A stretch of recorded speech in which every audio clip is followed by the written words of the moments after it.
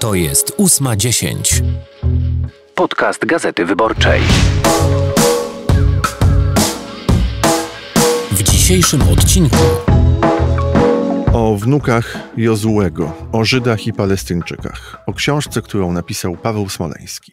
ósma dziesięć. Podcast Gazety Wyborczej. Michał Nogaś, dzień dobry Państwu w niedzielę w 8.10. Dziś znów archiwum Radia Książki, wspólnego przedsięwzięcia wyborczej.pl, książek, magazynu do czytania i audioteki. Tym razem przypomnimy rozmowę z Pawłem Smoleńskim, który od lat pisze o Izraelu, Palestynie, procesie pokojowym i o codziennym życiu na tamtych terenach. Kiedy ukazywała się książka o wnukach Jozułego, rozmawialiśmy w Radiu Książki. To było w lutym 2019 roku. Jeśli Państwo jeszcze nie słuchali lub polubili tę rozmowę, zapraszam do odsłuchu. Książki, magazyn do czytania, wyborcza.pl oraz audioteka przedstawiają Radio Książki. Rozmowy o literaturze. Zapraszam, Michał Nogaś. Odcinek 51 już. Dzisiaj naszym gościem jest Paweł Smoleński. Dzień dobry. Kłaniam się, dzień dobry. To jest Radio Książki, wspólne przedsięwzięcie Gazety Wyborczej, wyborczej.pl, książek, magazynu do czytania i audioteki, która nas gości. I książka nowa Pawła zatytułowana Wnuki Jozułego, pokłosie ilu to wypraw do Izraela? A bo ja wiem. Nie wiem ilu. Nie wiem, nie, nie, nie potrafię tego policzyć. To jest kilkadziesiąt lat, to tak powiedzmy. Kilkadziesiąt. Kilkadziesiąt, tak, kilkadziesiąt lat to jest. To jaki jest pierwszy Izrael, który pamiętasz? No pierwszy to jest fascynacja absolutna i to zawsze, zawsze będę powtarzał i to się wiąże z taką anegdotą, oto mój przyjaciel, tak, i, i boss przy okazji za, zapytał mnie na lotnisku w Warszawie, czy byłem kiedyś wcześniej w Izraelu, kiedy tam mieliśmy odlecieć, a powiedziałem, no ty zwariowałeś chyba, przecież wiesz, że nie. Na co on odpowiedział, to ja ci zazdroszczę. Zazdroszczę dlatego, że przyjedziesz się zachwycisz. To się stało. To od pierwszej chwili takie, takie uczucie mi towarzyszyło i do tej pory ja jestem zachwycony tym kawałkiem ziemi. Trochę jest tak, że nie znam ani jednej osoby, która by po powrocie z Izraela nie była zachwycona, więc e, powiedz, e, co ciebie zachwyciło najbardziej? Wszystko. Wszystko, dokładnie wszystko. Począwszy od telawiwskiej architektury, a skończywszy na tym, że to, to, to jest przecież wymyślone, tak? To jest wymarzone i to się stało. Znaczy, to, to ilustruje tylko i wyłącznie jedno, mianowicie, że jeżeli ludzie chcą i potrafią współpracować ze sobą, zachowując y, różnorodność i czerpiąc tych różnych, różnych bagaży, które tam przywieziono, bo jednakowoż umówmy się, że dzisiaj już nie, ale, ale jakiś czas temu to każdy miał drugą ojczyznę, albo prawie każdy miał drugą ojczyznę, no to mogą robić cuda. No i ten cud się stał. No Izrael jest absolutnie fantastycznym miejscem. Tylko, że no z Izraelem jest tak jak z panną młodą. Myślę sobie, że no, podczas wesela to, to panna młoda jest najpiękniejsza, a potem się okazuje, że jednak gdzieś tam jakiś pryszciec wyskoczy na nosie albo, albo coś podobnego. Znaczy potem się zaczyna normalne życie mając ze sobą kilkanaście wizyt w Izraelu i kolejne dwie w tym roku przed sobą. E, absolutnie się zgadzam z tym, co mówi Paweł, ale zanim będziemy rozmawiali o e, wnukach Jozłego, czyli o tych historiach, które zebrałeś z wielu swoich pobytów w Izraelu, to chciałem zapytać o to, jak na Twoich oczach i w Twojej głowie ten Izrael przez te kilkadziesiąt lat się zmieniał? To znaczy, do jakiego państwa pojechałeś po raz pierwszy, a z jakiego państwa wróciłeś po raz ostatni? A czy być może jest tak, że to ja się zmieniałem, no i, i że nie można żyć w wiecznym zachwycie. Czy ja przyjechałem do takiego Izraela, który mnie wówczas wydawał się i, i o tym mi również opowiadano, ale starano się jakby to moje, moje wyobrażenie zweryfikować. Mianowicie przyjechałem właśnie do takiej krainy ze snów, tak? Mhm. A opowiadano mi, że to nie jest kraina ze snów, broń Boże.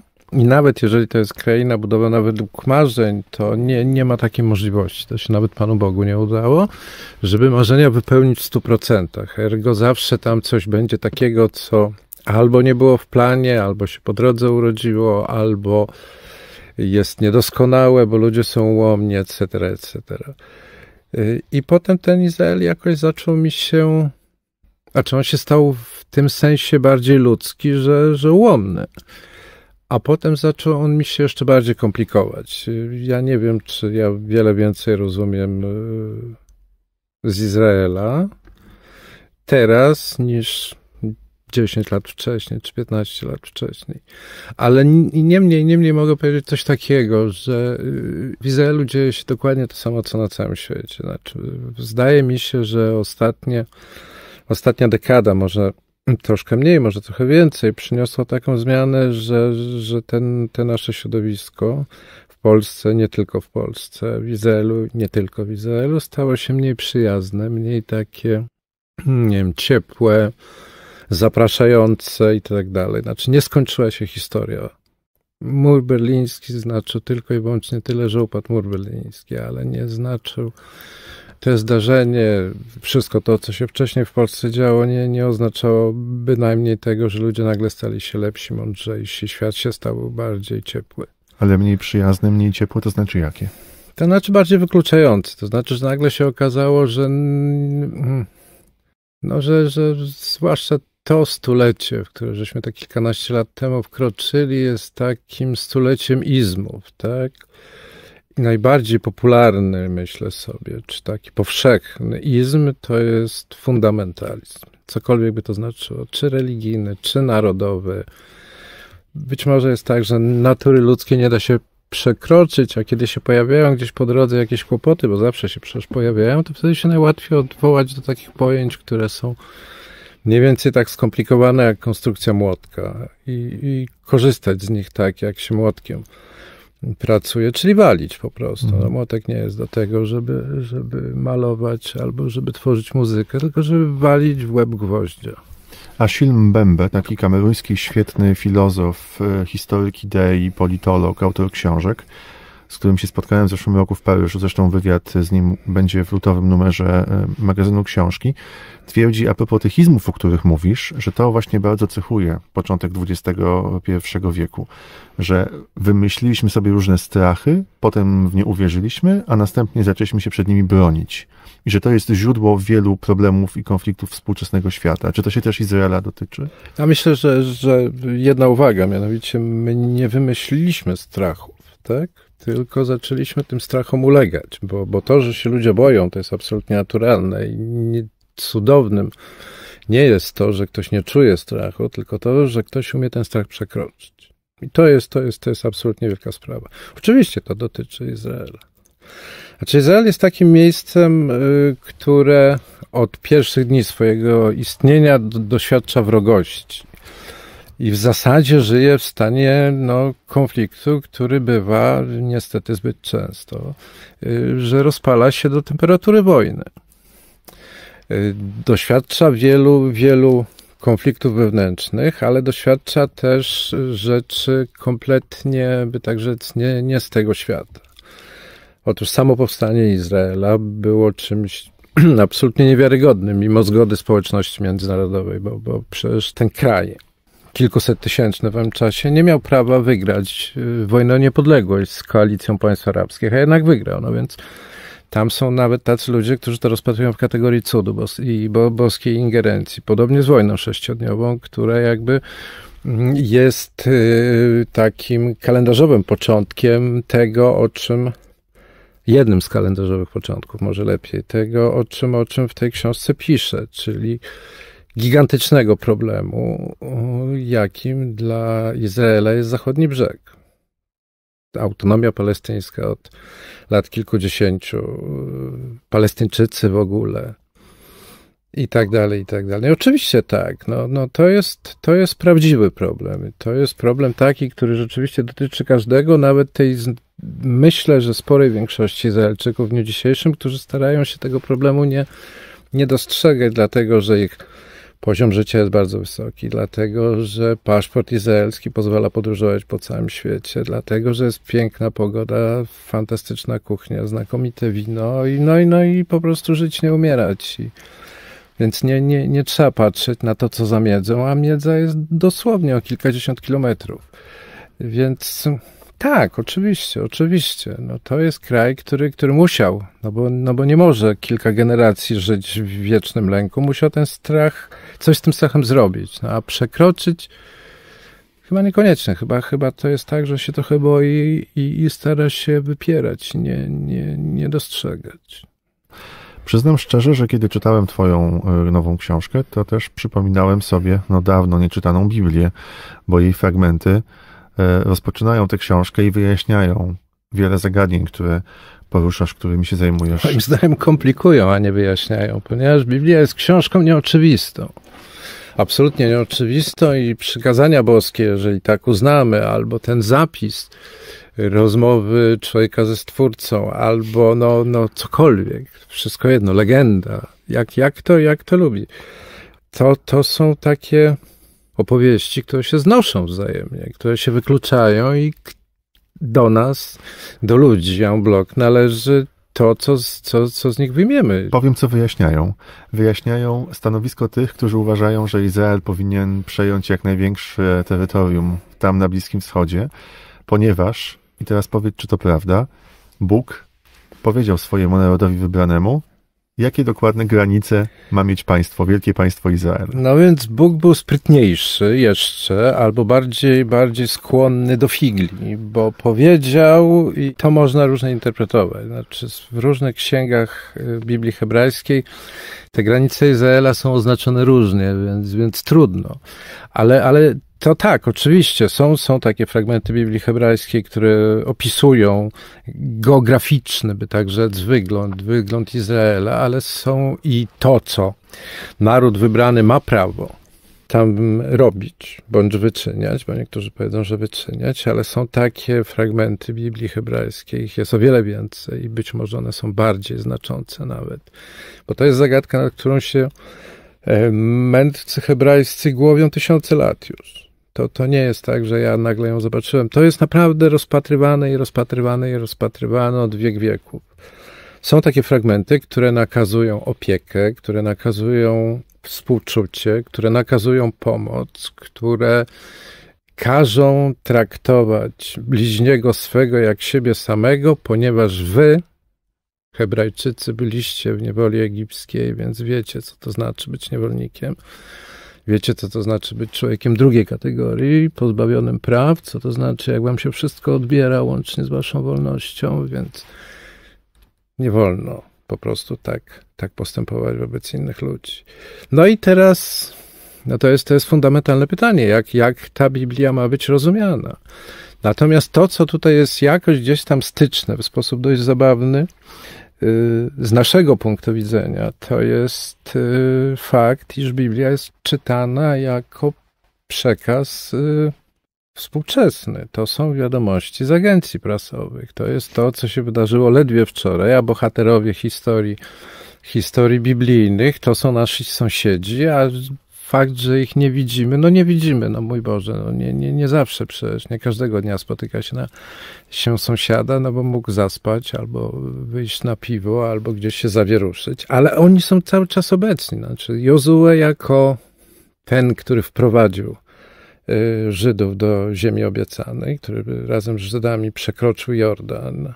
Uczeń Mesjasz, y, Mojżesza. Uczeń Mojżesza, następca Mojżesza, wskazany przez Boga no to jest najdalej dziadek w drugim pokoleniu. No. Pradziadek, prapradziadek może.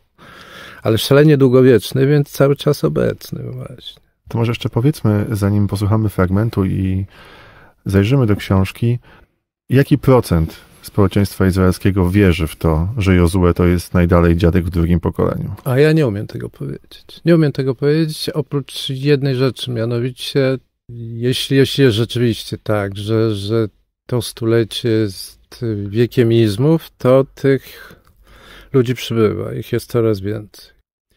Izrael robi się krajem coraz bardziej religijnym. To, to, to nie ulega najmniejszej wątpliwości, przy czym no, to w masie, tak? Indywidualne wybory to są indywidualne wybory ludzi. Ja nie będę, nie będę tego oceniał. Ale to cię zaskakuje, że tak jest? Ten Nie liberalny, wręcz libertyński Tel Awiw, ta radość, zabawa i Jerozolima miasto święte. Tak się o tym mówiło. No nie, Tel Awiw. Tel Awiw to jest takie miejsce, które jest w ogóle wykrojone z Izraela, tak? Tak samo jak Nowy Jork nie jest, nie jest y, Stanami. Stanami. Zjednoczonymi, a Paryż nie jest Francją, tak Tel Awiw nie jest Izraelem. To jest, to jest osobny, osobny kraj, osobny byt, wyspa i, i w ogóle tutaj w zasadzie nie ma o czym mówić. Czyli to religijne życie się odradza gdzie? Na obrzeżach Tel Awiwu już bardzo mocno. Jerozolima staje się coraz bardziej religijnym miastem, to nie ulega wątpliwości, a z drugiej strony ci, którzy w Jerozolimie nie są religijni, y, no stają się coraz bardziej bezbożni, o tak bym powiedział, coraz bardziej niereligijni. Przy czym Jerozolima, pamiętajmy, jeżeli traktujemy ją jako całość, no to to jest również ta Jerozolima, gdzie ludzie nie chodzą do synagog, ale chodzą do meczetów. I ta też się robi coraz bardziej religijna. Ta wschodnia. Ta wschodnia, tak. Coraz bardziej religijna i coraz bardziej taka właśnie w tej swojej yy, religijności upewniona, że to jest jedyna droga, nie ma, nie ma innej drogi. A do tego się doklejają jeszcze różne inne pomysły na, na organizowanie życia własnego i wokół siebie, a najchętniej życia tym ludziom, o których my się troszczymy. A dodajmy, powiedzmy to tym, którzy w Jerozolimie nigdy nie byli, że wystarczy wyjść z bramy damasteńskiej, już się jest w Jerozolimie Wschodniej, tej arabskiej części, a tam nie ma żadnej granicy, te światy po prostu się przenikają. Nie ma granicy. Jako granicę możemy przyjąć, to też jest bardzo umowne już teraz, przecież Jerozolima jako całość występuje od 1967 roku, więc jako granicę możemy przyjąć y, tory tramwaju jerozolimskiego jednej, jedynej linii, która rzeczywiście są takie fragmenty, biegnie dokładnie w tym miejscu, gdzie kiedyś stał y, płot oddzielający, płot graniczny oddzielający Jerozolimę należącą do Jordanii i Jerozolimę należącą do Izraela. To się miesza teraz też oczywiście y, w tym znaczeniu, że po tej w cudzysłowie arabskiej stronie zaczyna mieszkać coraz więcej żydowskich Izraelczyków, z czego się biorą od czasu do czasu, może nawet częściej konflikty. No, dość powiedzieć, że, że są takie fragmenty Jerozolimy, które są uważane przez społeczność międzynarodową, przez y, Arabów, ale też przez Izraelczyków żydowskich przeciwnych osadnictwu za osiedla po prostu. O tym za chwilę. Paweł Smoleński dzisiaj jest gościem Radia Książki. Wnuki Jozułego to jest jego nowa książka. Oto pierwszy fragment w wykonaniu autora. Wszystko zależy od przewodnika, od jego ocen, diagnoz i poglądów. Nie systematyzują tego żadne oficjalne instrukcje, odgórne wykładnie lub, nie daj Boże, kategoryczne nakazy. Pełna wolność. Przewodnicy mówią, co chcą i jak czują. O tym samym, co zatem poradzić, skoro każdy z nich mówi inaczej, tak jak podpowiada mu serce, wiara i poczucie zdrowego rozsądku. Słowa przewodników mogą być więc różne jak dzień i noc. To, co dla jednego jest jasne i białe, dla drugiego będzie mroczne i czarne. Ale i tak będą się poruszać, a my wraz z nimi w tej samej mocno ograniczonej przestrzeni, ciasnej ze względu na głębokie doliny, kamieniste pagórki oraz granice wewnętrzne i międzypaństwowe, a do tych tutaj zawsze stanowczo za blisko. Mówimy wszak o niewielkim kawałku świata, ledwie obecnym na największych nawet globusach i najbardziej dokładnych mapach. Na dodatek, y, wedle rozsądnych i racjonalnych kryteriów, a te w tym wypadku doskonale zawodzą, kawałku na pozór mało ważnym, pełnym nieużytków i ubogim zasoby naturalne, a który jednak w wyniku opowieści zyskuje na rozmiarze, wadze i znaczeniu. Weźmy na przykład osiedle Kwar Eldad, jak nazwą je Jehuda czy Dror.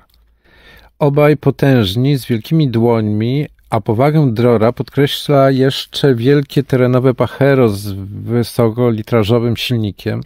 W sam raz na te wąskie dróżki parowy, dobre do jazdy wiosną, gdy strumieniami rwie płytka woda, ale też na głęboki letni piasek i ostre kamienie. Obaj byli frontowymi żołnierzami. Po wojennych doświadczeniach zaangażowali się w działalność organizacji praw człowieka i gardują za pokojem. Po to, jak mówią, żeby to wreszcie naprawdę była ziemia święta. Ale już inni przewodnicy, Efraim Saul, obruszą się, gdy zachodni brzeg nazwę terytoriami okupowanymi, a osiedla, choć nawet w Izraelu tak się o nich mówi, osiedlami. Nie gadaj bzdur, powiedzą chórem. Pomyśl, zanim coś powiesz. Pierwszy jest byłym żołnierzem frontowym z wojny sześciodniowej i profesorem politologii Uniwersytetu Bar-Ilan. Nosi kipę, sypie koszarowymi żartami, a wygląda na równego gościa i dobrego kumpla. Drugi oprowadza zagraniczne wycieczki na zlecenie izraelskiego Ministerstwa Spraw Zagranicznych. Skończył historię na Uniwersytecie Hebrajskim w Jerozolimie, czyli w żydowskich dziejach jest naprawdę biegły. Los sprawił, że obaj mieszkają w Owsze, pierwszym żydowskim osiedlu w Samarii, założonym już w 1975 roku, na północ od Jerozolimy, przy drodze numer 60 na arabski Nablus, albo, jeśli tak chcemy, na biblijny Sychem, gdzie przecież jest grób patriarchy Józefa. Sychem tak nazywa to miasto wielu mieszkańców osiedli, Efraim i Saul także. Tak więc dla Efraima i Saula osiedla na zachodnim brzegu to po prostu miasteczka z historią osadzoną w dziejach sprzed tysiącleci. Skoro tak, obaj nie mogą być osadnikami, ale są dziedzicami tego, co kiedyś. Nie ma też takiej ziemi jak terytoria okupowane, a to po prostu z tego powodu, że nie można okupować samych siebie. Przecież Polacy nie okupują Polski, a Szwedzi Szwecji. Dziś według książki Paweł Smoleński Powiedz, jak to wygląda, kiedy jest się tam na miejscu, na tej małej przestrzeni, na ziemi podzielonej. Chciałem zapytać, jak wygląda świat osiedli żydowskich, które wkraczają coraz silniej na tereny palestyńskie okupowane przez Izrael. Hm.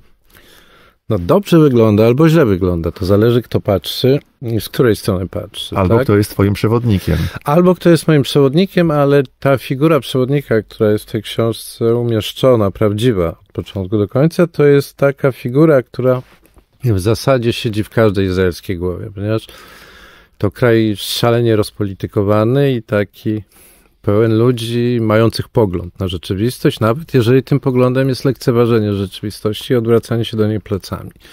I to oznacza, że każdy o każdym miejscu, o każdym zdarzeniu, momencie historycznym czy momencie y, biblijnym ma swoją opinię i tą opinię sprzedaje jako taką no może nawet jedyną prawdę czasami. Tak też, tak też bywa. No nic dziwnego, że w judaizmie nie ma takiego stanowiska jak dyrektor całego, całego bałaganu, czyli papież, prawda? Bo, bo, bo, bo to jest niemożliwe po prostu, skoro, skoro wyznawcy judaizmu, co jest zapisane w Biblii, mogą się kłócić z Panem Bogiem i nawet te kłótnie wygrywać. No to zależy jak patrzymy. No jeżeli popatrzymy na osiedla, które tam funkcjonują no prawie od momentu zakończenia wojny sześciodniowej, tego, tego cudownego zwycięstwa, no to niektóre z nich wyglądają jak takie miasteczka w Toskanii. No, wszystko jest co trzeba, czyli a tu rosną oliwki, a tu rosną róże, zielono, cichutko, dzieci biegające po ulicy, no bo wszędzie są te, te garby takie, więc samochody się nie mogą rozpędzić, no po prostu żyć, nie umierać. Są też takie osiedla, które są złożone na przykład z przyczep mieszkalnych czy z jakichś baraków na, na, stojących na wzgórzach, bo to też jest taki właśnie, no, tak rzec, konieczny element osiedla. Budujemy tam, gdzie wysoko, żeby widzieć dookoła okolice, po to, żeby wiedzieć, co się dzieje, i po to, żeby ją przypilnować przy okazji. Y, no i tam, tam się raczej podejrzewam ciężko, dlatego że to, to są z reguły stosunkowo malutkie organizmy, prawda? No, przeżyć lata w przyczepie nie jest przyjemnie. Wszystko w zasadzie jest na zewnątrz. Może się pojawi jakiś mały sklepik, może się pojawi jakieś przedszkole, bo dużo dzieci jest w osiedlach. To jest, to jest fajne. Tam rzeczywiście tych dzieciaków jest cała masa, widać te dzieci, a, a ponieważ Izraelczycy mają, tak mi się wydaje, w masie swoje takie niezwykłe nabożeństwo do małych ludzi, no to te małe ludziki są rozbrykane i wesołe i uśmiechnięte i śpiewające i to, to jest, to jest, to jest okej, okay, no ale z drugiej strony, jeżeli mamy świadomość, że mieszkamy na czubku jakiegoś jakiegoś wzgórza, jakiegoś pagórku, prawda? I, I, mieszkamy w jakiejś tam przyczepie. To wszystko jest okrocone płotem i trzeba tego dzień i noc pilnować, bo nie wiadomo, co się zdarzy. No to albo żyjemy w jakiejś stanicy na dzikich polach, tak jak, jak za czasów, nie wiem, pana Michała Wołodyjowskiego, albo żyjemy w więzieniu i teraz, teraz wybór należy do ciebie, co wolisz. Czy to jest dla ciebie więzienie, czy to jest stanica, czy ty szerzysz też cudzysłów duży teraz tutaj, cywilizację, tak? Czy ty się bronisz, albo cię zamknięto? Nie wiem. A jaka jest podstawa prawna, albo jaki jest powód, dla którego Izraelczycy wchodzą na tereny, które otrzymali w wyniku porozumienia pokojowego Palestyńczycy i tam zaczynają się osiedlać? No powód jest prosty. Powodem, powodem jest to, co powiedział Pan Bóg nasz, że to jest ziemia narodu wybranego. I, i, i to, to wcale nie jest, nie jest śmieszne, bo, bo naprawdę są ludzie, którzy tak, tak uważają. To jest ziemia dana przez, przez, przez Boga i koniec. I tutaj co do tego nie ma debaty, ale jest również w ten sposób, że tam jest taniej. Tam jest łatwiej. Tam mieszkania kosztują w porównaniu do cen mieszkań w Jerozolimie czy w Tel Awiwie niewiele. Tam są niższe podatki. Y, zachodni brzeg, y, terytoria okupowane są od jakiegoś czasu pocięte znakomitymi drogami, więc jeżeli się mieszka y, na zachodnim brzegu, a pracuje w Tel Awiwie czy w Jerozolimie, to jest naprawdę kwestia kilkudziesięciu minut, żeby dojechać bez najmniejszego problemu. No, Piszesz nawet o tym w książce, łatwiej. że na takich terenach okupowanych przy okazji mieszkania w takim osiedlu, to można nawet 160 na godzinę jechać, nikt cię nie zatrzyma. No bo by tak rzec, siły porządkowe tam mają co innego do roboty niż łapanie piratów drogowych, więc, więc po prostu policja tamtejsza nie, nie zwraca na to uwagi. Ale powiedz, jak wygląda to codzienne życie? Byłeś tam wiele razy. Ta koegzystencja, to sąsiedztwo. Z jednej strony Żydzi, Izraelczycy w nowych budynkach albo w tych przyczepach, a tuż obok, za płotem, za miedzą, Palestyńczycy, którzy nie dość, że okupowani, to jeszcze mający takie poczucie, słuszne zresztą, kiedy się chociażby czyta książkę Szecha Decha, jedną czy drugą, e, opowieść o tym, jak Żydzi zabierają kolejne kawałki ziemi palestyńskiej, no mają takie poczucie, że ktoś, wróg wchodzi do nich do domu w butach i wszystko niszczy. Zabiera im ścieżki, pola, wszystko dookoła. No bo często, często tak jest rzeczywiście. To tego, tego nie, nie, należy, nie należy ani bagatelizować, ani mówić, że tak nie ma. No, osiedla niektóre, nazwane po angielsku y, outpostami, po hebrajsku mahasa, po polsku właśnie stanice, to, to są osiedla, które są nielegalne nawet z punktu widzenia prawa izraelskiego i bywa, że takie osiedla są potem decyzją Sądu Najwyższego Izraela niszczone przez wojsko, co prowadzi oczywiście do awantur, do, do, do starć z wojskiem i z policją. Starć w tym znaczeniu się rzuca kamieniami, osadnicy rzucają kamieniami, czy ubliżają i tak dalej. No, awantura na, na, na całego.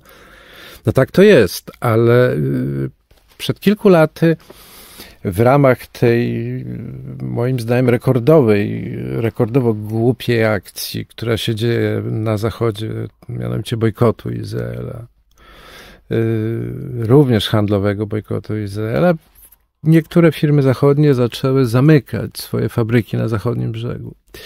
I taką właśnie, była tam rozlewnia napojów Soda Stream którą zamknięto, no bo te, te towary stamtąd były, były, były bojkotowane. No i kto na tym ucierpiał? No, ucierpieli Palestyńczycy, którzy tam pracują.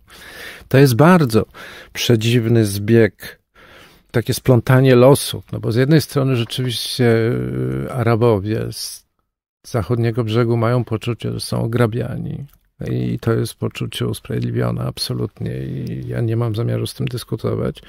Z drugiej strony prawda też jest taka, że oni bardzo często pracują w osiedlach. Że to są pieniądze o niebo większe niż te, które by mogli zarobić między sobą. Że tam się nawiązuje jakaś taka, no, rzeczywistość nigdy nie jest prosta i nigdy nie jest czarno-biała i nawet jeżeli między tymi społecznościami stoi płot, tak, i ten płot jest pod prądem albo jest nafaszerowany jakąś pod niesamowitą ilością elektroniki wykrywającej ruch, to jest płot taki, żeby, żeby dawać poczucie bezpieczeństwa, etc., etc., no to w tym płocie istnieją tak faktyczne jak i takie bardzo no, metaforyczne wyłomy. No, gdzieś tutaj jest jakaś, jakaś łączność, jakaś wspólnota, tak? No, jest wiele, wiele opowieści z osiedli to są opowieści sprzed lat, teraz, teraz też tak się dzieje, y, które, które opowiadają o, o drugiej intifadzie, to są opowieści, które brzmią mniej więcej w ten sposób. Przychodzą do osiedla palestyńscy pracownicy i mówią, my już do was nie przyjdziemy, dlatego że y, to nam swoi zrobią krzywdę, ostrzegamy was, uważajcie, bo może być bardzo źle. Y, wiele opowieści jest takich, że jak, nie wiem, ale przecież ci ludzie się spotykają, oni się spotykają na, na, na drogach, oni się spotykają w centrach handlowych na przykład. Pod osiedlem Efrat jest takie centrum handlowe, które jest absolutnie dostępne dla wszystkich, gdzie w sklepie, w takim dużym markecie pracują obok siebie chrześcijanie, muzułmanie. To te dwie grupy to są, to są Arabowie. No i, i Żydzi i jest znakomicie zaopatrzone stoisko z serami, gdzie przychodzą wszyscy, czyli mieszkańcy arabskich wiosek, miasteczek i mieszkańcy osiedli i czekają na jednego sprzedawcę, którym jest Arab, bo on najlepiej doradzi, bo on najlepiej pomoże, bo on wie, on jest przy okazji nauczycielem języka angielskiego, więc jeżeli, a w osiedlu się tak czasami zdarza, ktoś sobie radzi z hebrajskim zdecydowanie gorzej niż z angielskim, no to ma człowieka, z którym porozmawia. To jest oczywiście no bo to jest współżycie, ale to jest też, też taka straszliwa, często gęsto niechęć, nienawiść, niezrozumienie, niewiedza. Znaczy to, co, co mnie rzeczywiście uderzyło tam, to, to taki brak zainteresowania tym, jak się żyje sąsiadom, jak ci sąsiedzi myślą i takie uleganie stereotypom przy okazji. Znaczy, jakby y, dać dzieciom z y, szkół arabskich kredki i poprosić, żeby narysowali Izraelczyka, to jestem głęboko przekonany, że oni by rysowali żołnierza. A jeśli dać Izraelczykom żydowskim, dzieciom, kredki poprosić, żeby narysowali Araba, to myślę, że znaczna część narysowałaby chłopaka chustce w kufii zasłaniającej twarz. No bo to, to, jest, to jest wróg, to jest ten, który, który może zrobić krzywdę. No właśnie, bo też o tym musimy powiedzieć, że Palestyńczycy żyją w dwóch miejscach. Jedno miejsce to zachodni brzeg Jordanu, ale drugie to strefa gazy. Więc to są na dobrą sprawę dwa niezależne byty kompletnie. Piszesz w książce o tym, jak y, na polecenie rządu wojsko wjechało i niszczyło osiedla w strefie gazy. Izraelczycy stawali przeciwko Izraelczykom. A to a... prehistoria już jest. Tak, no to, to, jest coś, 90. co się wydarzyło, wydarzyło dawno temu. To jest 2005, to nie są 90 A, no 2005, lata, to jest 2005 tak. rok. To się wydarzyło dawno temu i to jest traktowane jako takie jedno wielkie memento.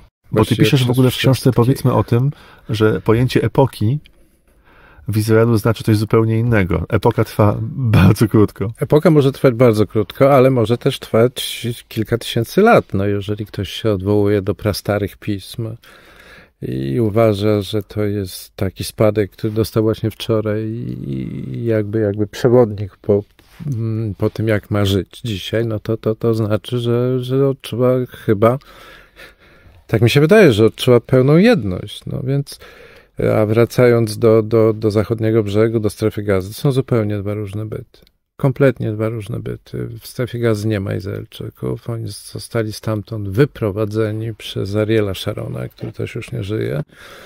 Co ci, którzy są za osadnictwem i za Wielkim Izraelem, y, poczytywali Sharonowi jako zdradę jako y, no, naj, najbardziej haniebne, co, co, co można było zrobić. Fakt, że niedługo później Sharon dostał wylewu, był traktowany przez niektórych jako ta kara boska, która go wreszcie, wreszcie dosięgła, bo nie może być tak, żeby Żyd wyrzucał Żyda. Podobnie jak śmierć Itzhaka Rabina za porozumienia w Oslo. Dokładnie tak samo, że Żyd wyrzuca Żyda z żydowskiego domu, na dodatek trzeba pamiętać, że zanim Sharon zarządził ewakuację strefy gazy, tam był promotorem osiedli. I w Gazie, i na zachodnim brzegu, a nawet jeszcze na Półwyspie Synaj. to osiedle Jamit na Synaju też zostało zlikwidowane. I, i, no, no jak z takim człowiekiem rozmawiać, który raz mówi budujmy, a raz mówi rozwalcie to. Won, nie ma, nie ma, nie ma, nie ma dla was miejsca. Jak go, jak go zrozumieć? No, to, to może być kłopot. To jest, to jest taka sama sprzeczność, jak biblijna sprzeczność y, z Księgi Powtórzonego Prawa, gdzie w jednym zdaniu się mówi o tym, że jeżeli nie zbierzesz wszystkich kłosów na polu, to te, które ci zostały, zostaw, bo one są dla obcego, one są dla biednego, dla przybysza. No, a drugie, no jeżeli będą przed tobą ludy Izraela, narody, które ty wytępisz, no to albo, albo karmisz, albo zabijasz. No, no przecież tego podobno się nie da pogodzić. No, tu trzeba jakoś. Te osiedle w strefie gazy ja pamiętam. To, to dawno temu było, więc, więc ta, ta pamięć jest stępiona oczywiście trochę, ale to były też takie właśnie miasteczka wychuchane, zadbane, cudowne, absolutnie cudowne warzywa, które tam rosły po takich długich, potężnych halach, namiotach, to wszystko zostało zniszczone, tego nie ma, można było to zachować, ale ponieważ w gazie zaczął zrządzić Hamas, no to nagle się okazało, że nie trzeba mieć kwalifikacji rolniczych, żeby dowodzić taką dużą farmą, jedną czy drugą, tylko wystarczy mieć papier wydany przez meczet, tak, że jest się prawowiernym, no to wtedy wszystko się uda. Okazuje się, że to nieprawda. Ci, y, którzy mieszkają na zachodnim brzegu, ci Palestyńczycy, gdyby im zaproponować y, przeniesienie do gazy, gazy, która się de facto rządzi sama. No fakt jest izraelska blokada.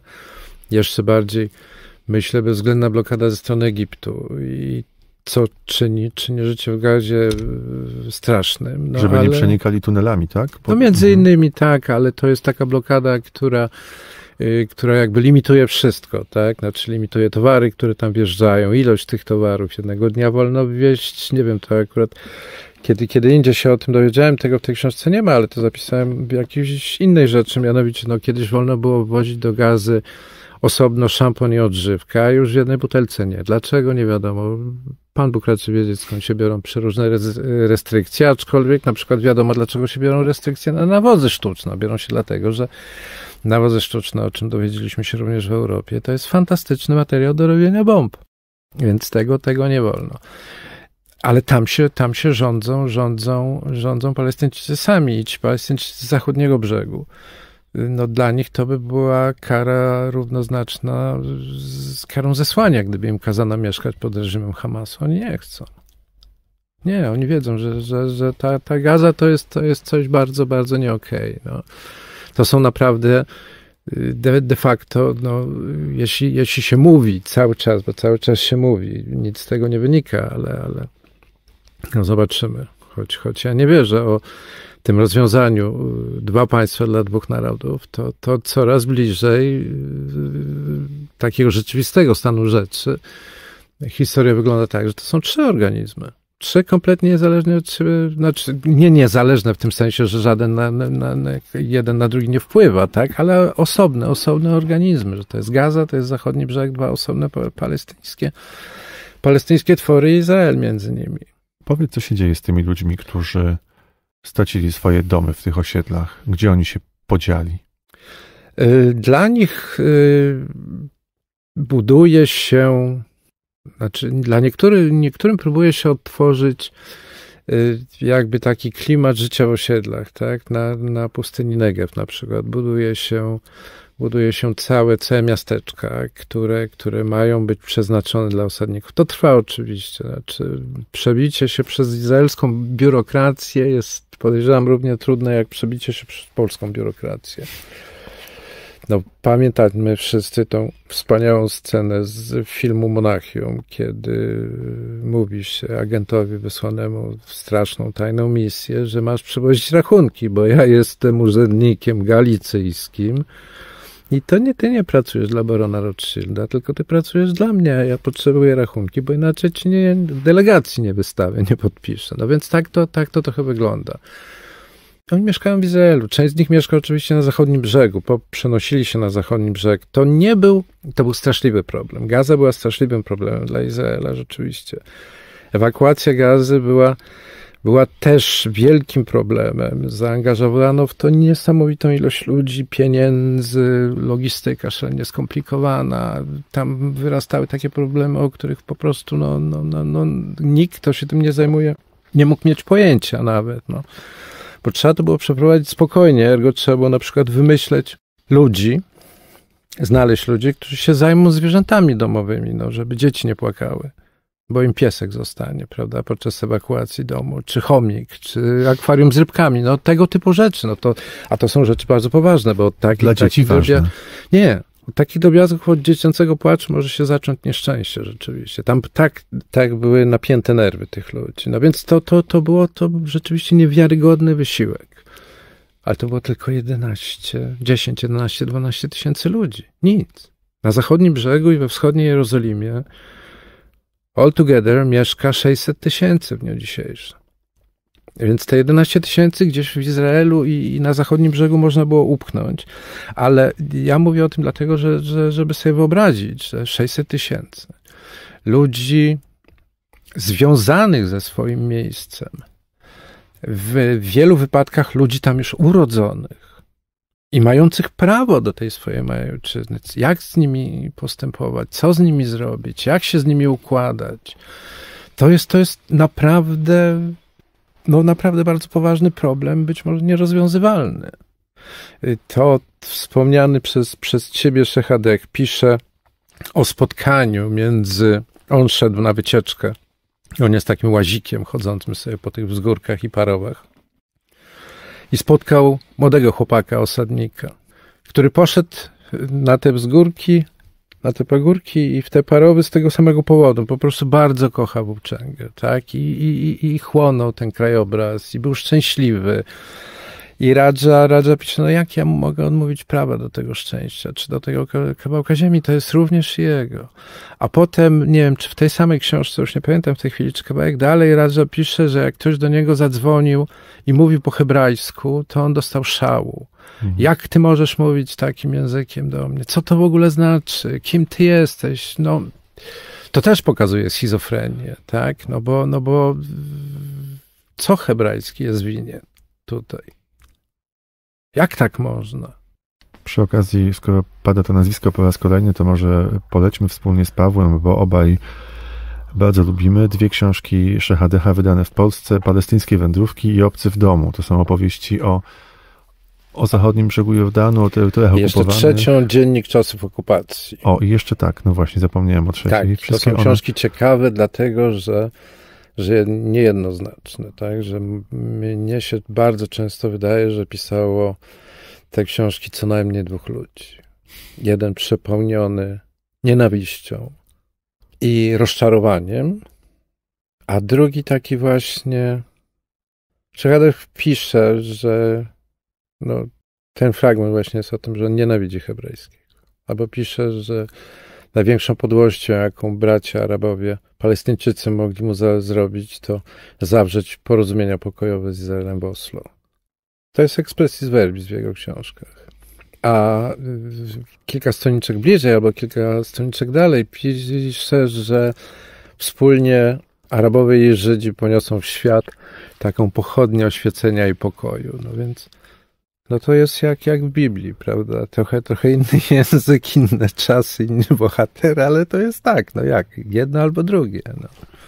Jeszcze zawsze warto też poczytać Amosa Oza. W twojej książce Wnuki Jozłego e, można znaleźć bardzo wiele opisów bardzo wielu miejsc, w których te dwa światy się spotykają, ale jest jedno miejsce, które przyznam na mnie robi e, wrażenie chyba największe i to wcale nie jest Jerozolima, tylko to jest opowieść o Hebronie. Bo Hebron to jest, to jest miejsce szczególnie naznaczone. To jest jedno ze świętych y, miast. Y, myślę, że wszystkich wielkich monoteistycznych religii, a bezspornie święte miasto muzułmanów, święte miasto Żydów. Ze względu na to, że to jest stolica Abrahamowa.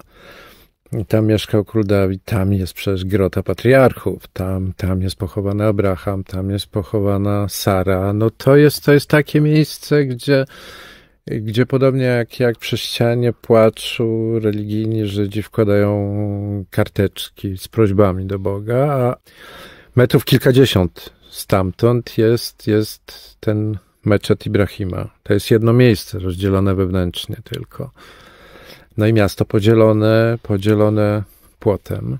Miasto wymarłe w wielu, wielu miejscach po to właśnie, żeby te społeczności się ze sobą nie stykały. Miasto, gdzie mm, znakomita większość to są Palestyńczycy i Arabowie i kilkuset osadników na Starym Mieście w Hebronie, głównie na Starym Mieście, bo nie tylko. Takich y, chyba najbardziej zajadłych, takich, którzy nie, nie, nie oddadzą ani guzika. Znaczy, bycie osadnikiem w Hebronie oznacza, że strzeżesz już takiej ja użyję tego słowa, ale, ale proszę tego dosłownie nie, nie rozumieć, bo takiej świętości nienaruszalnej, takiej, takiej świętości ostatecznej, najważniejszej, że to jest to serce serc po prostu. To jest straszne miejsce, to jest przerażające miejsce, to jest przerażające miejsce dla wszystkich, myślę. Dla żołnierzy, którzy tam służą, którzy pilnują spokoju. Ten spokój jest często gęsto łamany, no ale jakiś tam, jakiś tam jest. Dla oficerów dowodzących tymi żołnierzami, bo to zawsze, jak się nie odwróci człowiek, to plecy z tyłu, zawsze dostanie. Żadnej kariery tam nie robi, a kłopotów będzie miał całą masę. To jest straszne miejsce dla Arabów. Niewątpliwie straszne miejsce dla Arabów, zwłaszcza tych, którzy żyją w bezpośredniej bliskości tych, tej garstki osadników, albo też dla takich malusienieńkich enklaw arabskich, które są otoczone tym wymarłym miastem, po którym mogą chodzić tylko i wyłącznie izraelscy Żydzi. I, i mówię to celowo, ponieważ izraelscy Arabowie mają też pełnię praw obywatelskich oczywiście i mogą być i generałami w armii, mogą być ministrami, ambasadorami, no wszystko, co, co, co sobie człowiek życzy, ale na ulicy Hebronu to często gęsto tak wygląda, że przyjeżdża wycieczka ze szkoły izraelskiej, gdzie są zmieszane dzieci, są dzieci żydowskie, dzieci arabskie. No i podchodzą jacyś tacy żołnierze, którzy tam odbębniają służbę, którzy się potwornie nudzą, którzy też niekoniecznie wszystko muszą wiedzieć. No i jak widzą dziewczynki w chustach, to im przeganiają by także na arabską stronę. No mimo, że to są Izraelki takie same jak oni.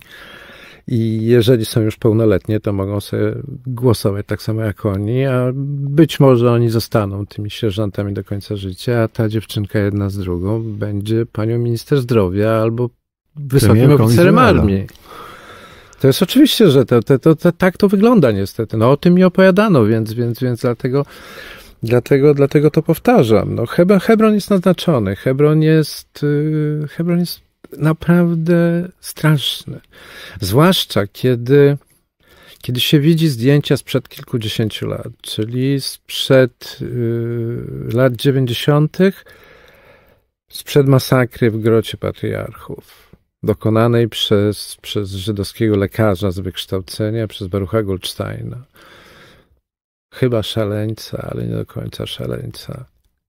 O tym za chwilę. Teraz drugi fragment wnuków Jozłego. Czyta Paweł Smoleński. Wieści o niepokojach przywozili do Hebronu kierowcy samochodów i liczni arabscy wierni powracający z modłów w meczetach Al-Aqsa i kopuły na skale. Przekaz był prosty. W Jerozolimie Żydzi mordują Arabów i chcą zająć y, wzgórze świątynne. Informacje plotki były na tyle niepokojące, że szef tamtejszej policji Raymond Kaferata nakazał wystawienie dodatkowych posterunków.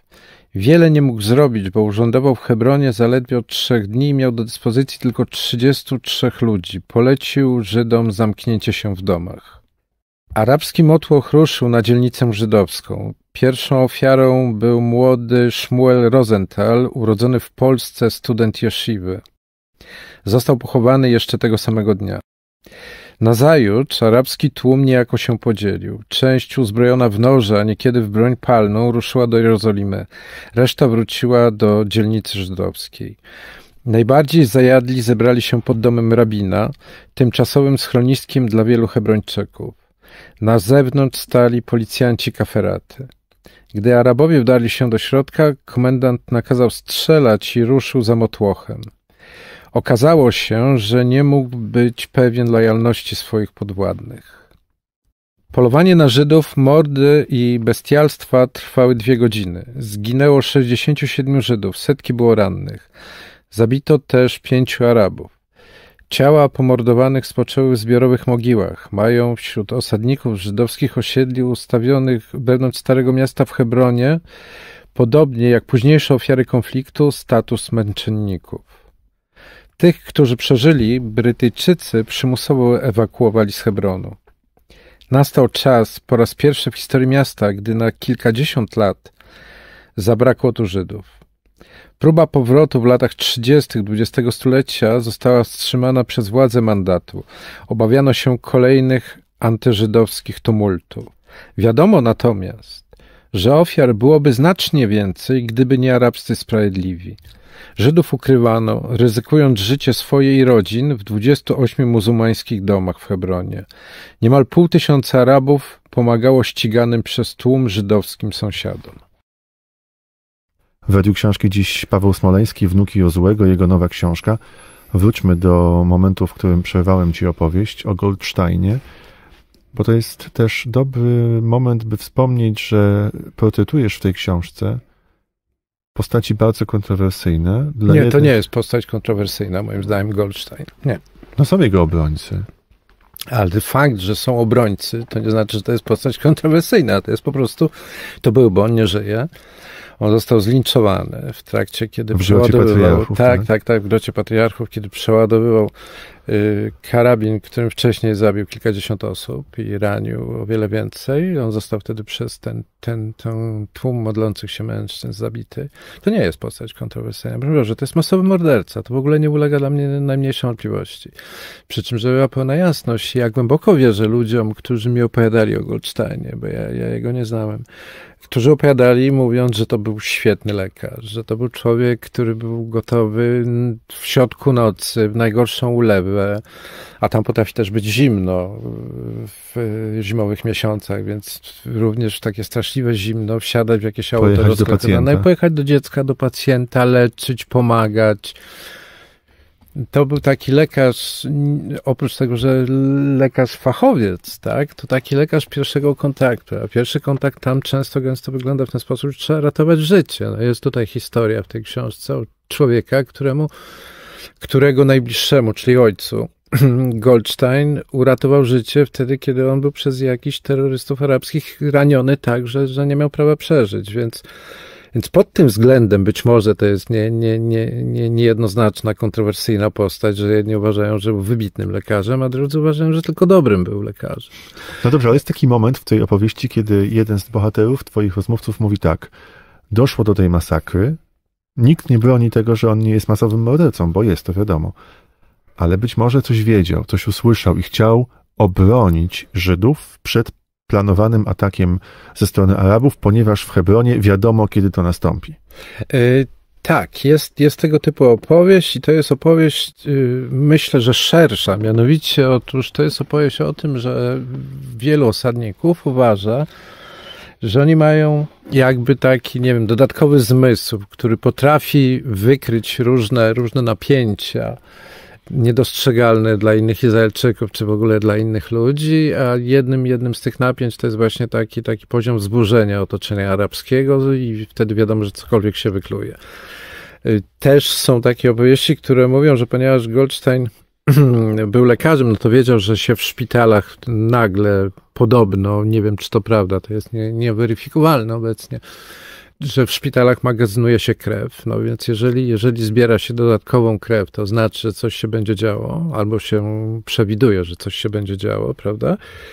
I że coś usłyszał od jakichś wojskowych, być może od jakiegoś wywiadu, od funkcjonariuszy Shinbetu, no Pan Bóg raczy wiedzieć.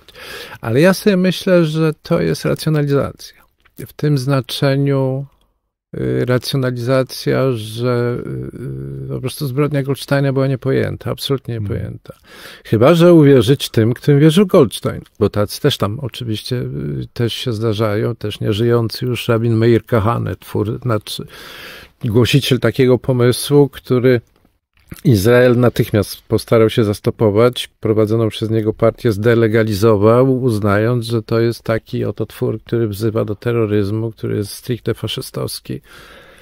i tak dalej, i tak dalej, i tak dalej, i tak dalej. Więc oczywiście nie, ja myślę, że to jest, że to jest racjonalizacja, że to jest takie, tak, taka próba oswojenia tej straszliwej zbrodni, że to jest też taka próba dopowiedzenia własnych niepokojów i, i takiego własnego strachu, bo oczywiście, jeżeli osadnicy czy jeżeli w ogóle Izraelczycy mówią, ja, po pierwsze nie można z indywidualnymi uczuciami dyskutować, bo to są uczucia, tak, i, i, i, i trudno, no, no, takie są, a nie inne kwita. Natomiast, no, jeżeli ktoś mówi, ja się boję, jestem zagrożony, a na dodatek podaję przykład, no w Hebronie łatwo tego typu przykłady, a tu kogoś napadli jacyś nożownicy, a tu snajper zastrzelił dziecko, Y, leżące w wózeczku.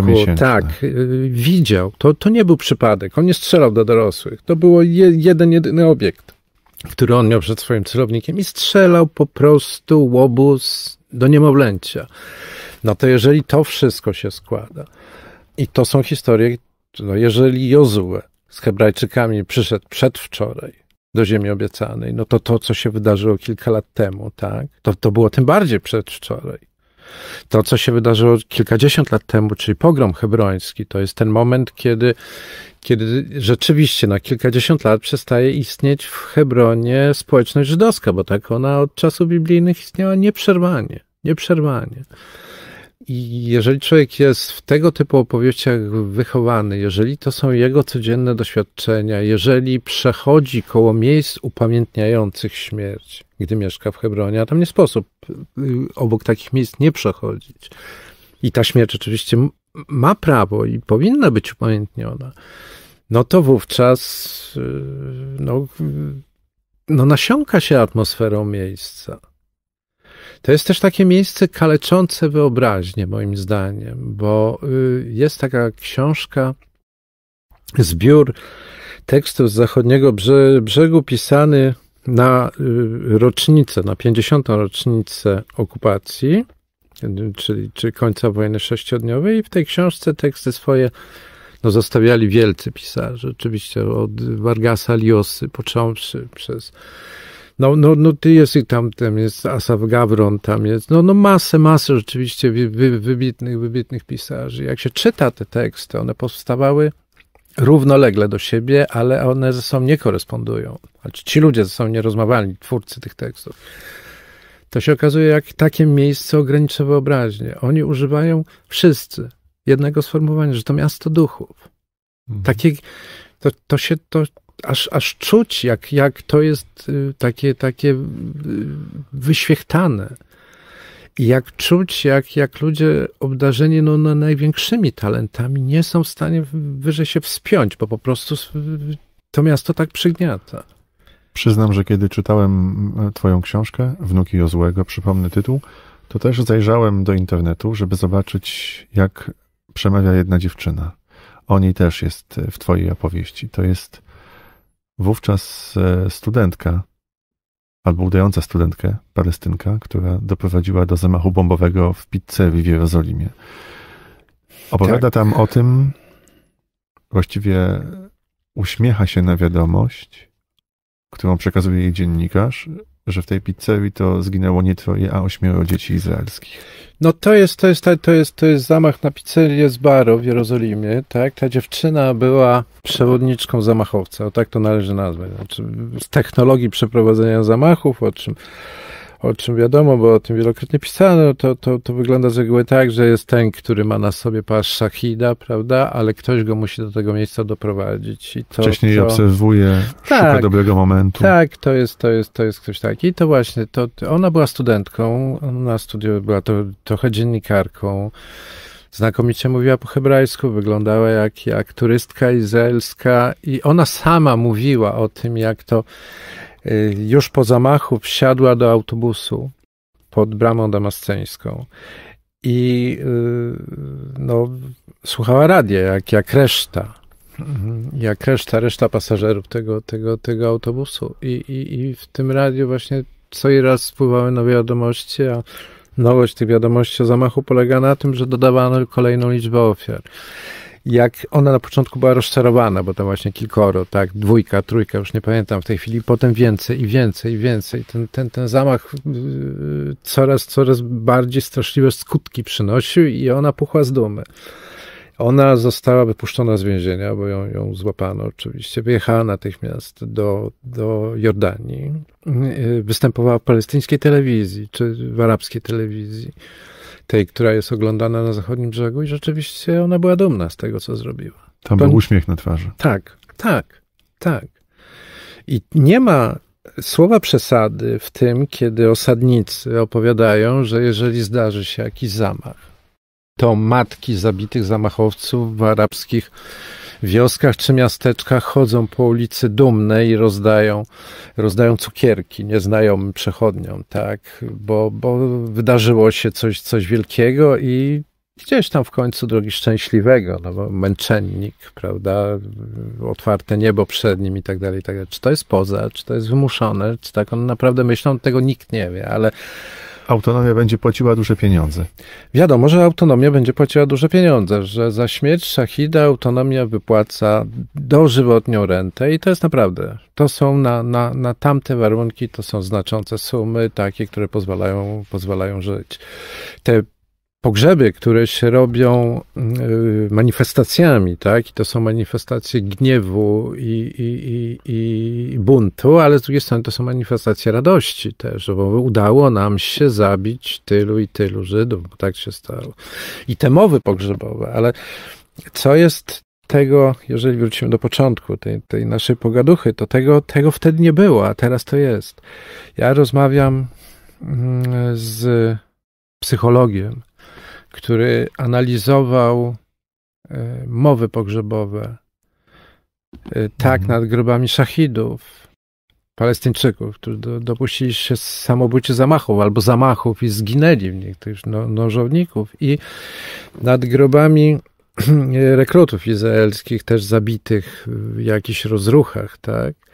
I, I on był przerażony, bo widział, jak, jak te temperatura tego, co się mówi nad grobem po hebrajsku i tego, co się mówi nad grobem po arabsku, jak to się skleja, jak to się zbliża, że to są podobne frazy, że to jest podobna, podobna argumentacja, że to nagle, no nagle, nie wiem, no, jesteśmy siamskimi braćmi. No właśnie, tak oczywiste pytanie na koniec. Co będzie? Cokolwiek? A nie, nie, nie, nie, nie. Ja, ja takiego pytania nie chcę, e, bo musiałby mieć w sobie więcej, by także odwagi na pewno i, i, i, i mądrości niż Jozue tytułowy. On nie zadał Bogu pytania, co będzie, Boże, kiedy przejdziemy Jordan. On wypełnił wolę boską po prostu. Ja nie wiem, co będzie. Nie wiem. Y, wiem y, jedno, ale to jest, to jest taki banał, że aż wstyd powtarzać. E, on, on brzmi tak, że najgłupszym, jednym z najgłupszych powiedzeń, którego ludzkość się dochrapała przez te tysiące lat cywilizacji, jest takie mianowicie: nie ma sytuacji bez wyjścia. Otóż są sytuacje bez wyjścia. Są. Paweł Smoleński dzisiaj był gościem Radia Książki. Wnuki Jozłego, kolejna opowieść z Izraela o niełatwym życiu tam, na zachodnim brzegu Jordanu, w strefie gazy i w Izraelu samym. Dziękuję Ci bardzo. Dziękuję pięknie. Do usłyszenia. Radio Książki. Rozmowy o literaturze.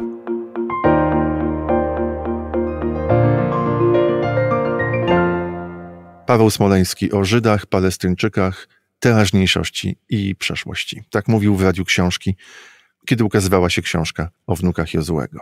Kolejne spotkanie z Radiem Książki z archiwum za tydzień w 8.10. Dziękuję za dziś. Michał Nogaś. Do usłyszenia. 8.10. Podcast